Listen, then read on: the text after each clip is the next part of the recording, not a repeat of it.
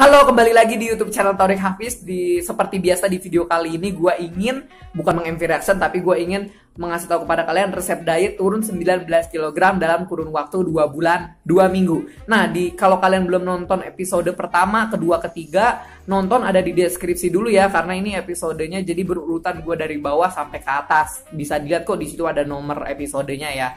Terus kalau misalnya kalian pengen nonton juga ada di atas ini, tinggal diklik aja gitu.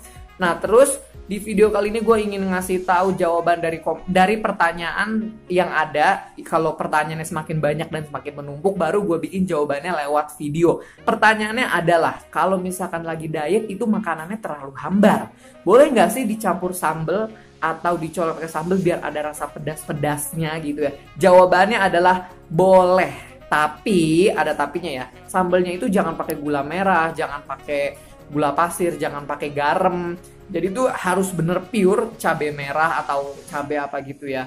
Terus dicampur bawang atau pakai tomat itu juga boleh. Pokoknya jangan dicampur yang kayak gula, garam yang untuk tambah penyedap gitu. Jadi jangan.